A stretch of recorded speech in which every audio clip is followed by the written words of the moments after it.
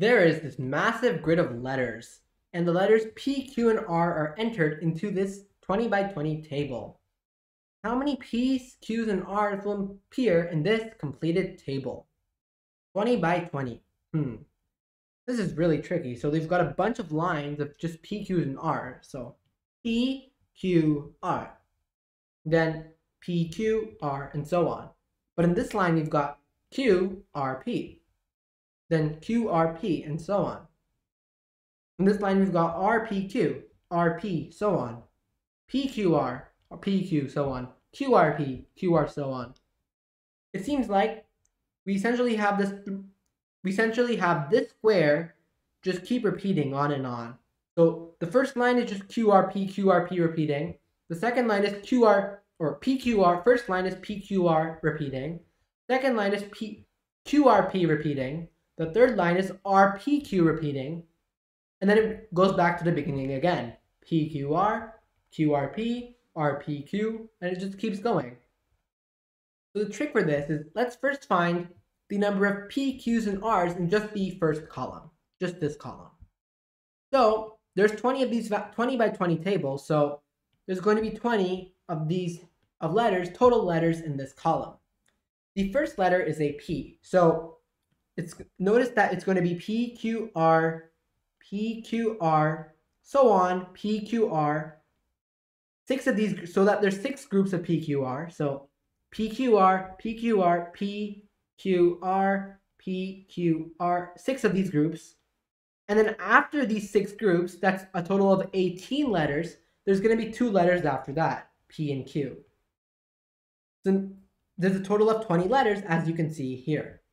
There's six groups of PQR and then PQ. So a total of seven P's, seven Q's, but there's only going to be six R's. Why? Well, because there's no R in the final PQ. It's just PQ. So let's write that down. 6P, 6Q, or 7P, 7Q, and 6R. And as you can see, that adds up to 20 indeed. Now let's look at the second column. The second column is kind of similar, except it's QRP. It's starting QRP instead of PQR. So, how do we find out the values in this row? Well, it's, it's, it's pretty much the exact same logic. QRP, QRB, so on, and then this will be six of these groups. I'm not going to write all of them this time. And then QR at the end, because there's a total of 20. And this is very similar. There'll be seven Qs because six in the six in these six groups, and then one extra. Seven Rs, but only six Ps. And then similarly, the last group will be something very similar. Let's explore what the last group will be. Well, the last group is RP P, sorry, last group is RPQ. So, last group, RPQ, RPQ, six of these groups, and then an extra RP at the end. So seven Rs, seven Ps, and six Qs. Notice that it's kind of symmetric if you can see. 7P, 7Q, 6R, 7Q, 7R, 6P, 7R, 7P, 6Q. Okay, but now the question is, how many of these columns, how many of each of these types of columns are there going to be? Well, notice how these columns kind of go cyclically. First it's PQR column, then QRP, then RPQ, and then back to PQR, QRP, and so on. So it's kind of a similar story. We've got a PQR column. I'm just saying PQR for short, but of course you know that it repeats. And then we've got a QRP column, and then a RPQ column. And this is kind of like another group of three. And then this repeats again. So this is one group, and then we have another group. P, Q, R, Q, R, P, and then R, P, Q. That's another group. And then notice how there's 20 total columns in the entire grid. So if there's 20 total columns, then we can essentially have six of these groups there's six of these groups. Six of these groups where, where each group has one of the of all the different types of columns.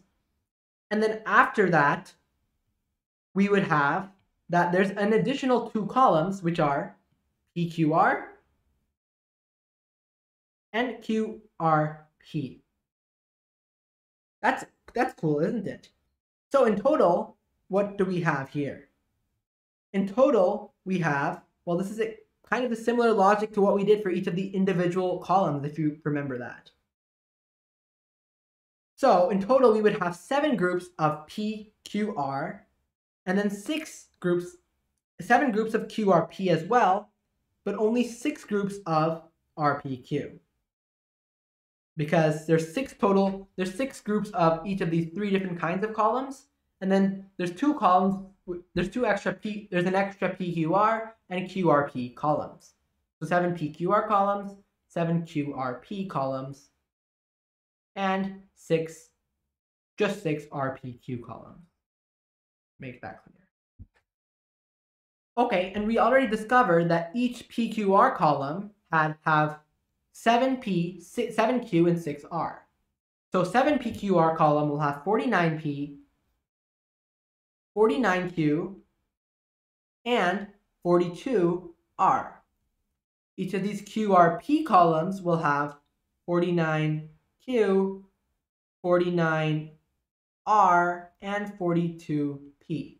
Each of these RPQ columns will each of them have 7R, 7P, and 6Q, but there's six of the columns. So 42R, 42P, and of course, 36Q. And now we just add all these values up to get one. And if we add all these values up, we would simply get that there are, how many Q are there? Well, there's 49, how many P are there? Let's start off with 49P, 42P, 42P. That sum is 84 plus 49. That's 133p. So 133p. Cool. Now, how many q? There's 49q, 49q over here on the first row. Then we also have that there's 49q in the second one over there, and then 36q in the bottom, as you can see. 49, 49, 36. Their sum is 98 plus 36, 134. So 134Q and how many R? Well, that's just 42 plus 49 plus 42. That's also 133. So the answer is 133, 134, 133. And if you look at the option choices, that is C, I believe. So C is the correct answer for this problem. Hope you enjoyed and found this video useful.